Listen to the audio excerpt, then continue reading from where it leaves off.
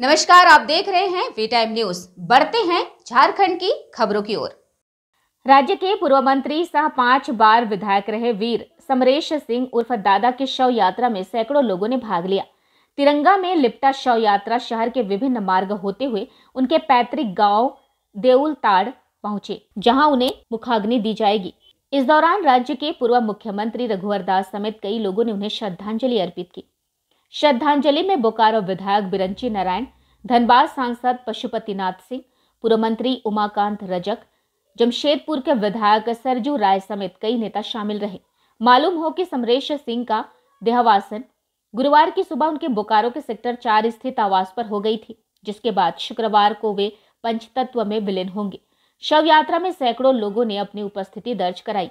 मालूम हो कि शव यात्रा सेक्टर फोर से निकलकर राम मंदिर थाना मोड़, नया मोड़, Birsa Chowk. Sector two Kali Mandir check post Chas पुराना बाज़ार होते हुए महावीर चौक, जोधा डी मोड़, विस्थापित चौक, मामर कुदर, चंदन कियारी, बरमसिया। अड़ता होते हुए देउल ताड़ पहुँची। मौके पर पहुँचे पूर्व मुख्यमंत्री रघुवर दास ने कहा कि यह दुख की घड़ी है। ईश्वर उनकी आत्मा को शांति प्रदान करे। आज देश के एक वीर सपूत को खो दिए हैं। उनकी भरपाई नहीं की जा सकती। भाजपा भाजपा से इन्होंने खरा ही। किया भाजपा को तो खरा ही किया है और भाजपा को बढ़ते देखकर उनको हमेशा खुशी होती है। यह दूसरी बात है कि राजनीतिक मजबूरी कहीं इधर से उधर कर दे। लेकिन भाजपा को पढ़ते हुए देखते हुए उनका सपना था कि अटल जी देश के प्रधानमंत्री वह पूरा हुआ उस दिन कितना प्रसन्न हुए थे उस अटल जी देश के प्रधानमंत्री बने उनकी उनका सपना था। अब्दुल कलाम देश के राष्ट्रपति बने उनका सपना वो सपना पूरा हुआ। तो एक सफल राजनीतिक रहे और आज जो लोग नारा देते थे वीर समरेश। सच में वीर समरेश निकल रहा वह ज़िंदगी भर उसी के अनुसार काम करते रहे काम करते रहे।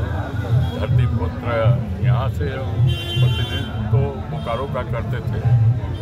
लेकिन मुझे ख्याल है मैं एमपी का चुनाव लड़ रहा था, वो भी एमपी का चुनाव लड़ रहे थे। और पहले चुनाव में साढ़े दस हज़ार वोट चंदन कैरी में हमें मिला और चौवन हज़ार वोट उनको मिला। दूसरे चुनाव में भी जब देश में लहर थी भाजपा का तो हमें पैंतीस हज़ार मिला उनको, साढ़े पैंतीस हज़ार मिला कहूँ कि प्रतिनिधित्व तो यहाँ करते थे, लेकिन इनका प्रभाव बोकारो जिला नहीं, धनबाद धनबाद से तो बोकारो बनाने में भी उनका श्रेय रहा है। उस समय के इतिहास को जो जानते हैं तो वह बोकारो से धनबाद अलग हो। इसका भी श्रेय अगर